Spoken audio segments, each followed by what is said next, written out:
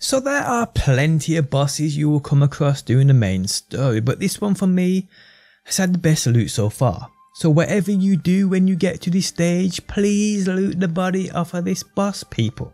How's it going guys, my name's DPJ and if you enjoyed the video leaving a like really helps out and if you like what you see and want to see more Cyberpunk be sure to subscribe.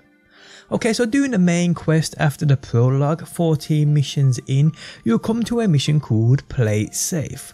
This mission consists of you working with Takemura. The mission will consist of you having to take out snipers and then going on to find a net runner.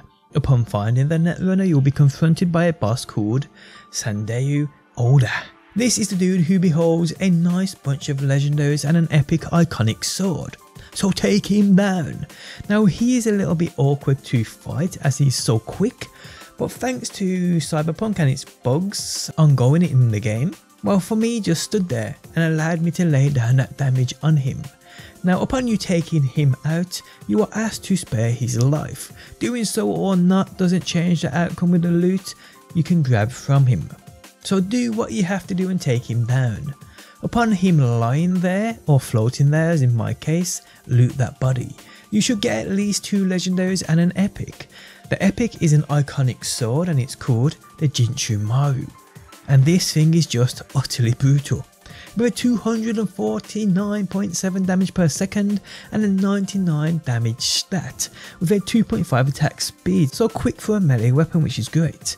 With a plus 63 to 77 physical damage, minus 8.20 stamina cost while attacking which is amazing, a plus 32.8 crit damage bonus and a plus 15% bleeding chance. Also guys, this sword gains 100% crit chance while Kerenzikov is active. Last strike in a combo deals double damage and double damage against enemies twice your current health. So it's quite the sword it really is. You also get this Arasaka Engineer hard hat with headset. This headwear has a 21 armor stat too. It also has 3 mod slots which is great. And you also get the Arasaka polycarbonate laced bulletproof aramid vest. This has a 72.5 armor stat with a plus 15% crit damage bonus, increases carrying capacity by 5 also, and it also has a mod slot, so that's pretty amazing. So yeah guys, just a quick video on the loot you can get from Oda items I feel you must get. So when you do come across this dude and you do kill him or take him down, don't forget to loot his body.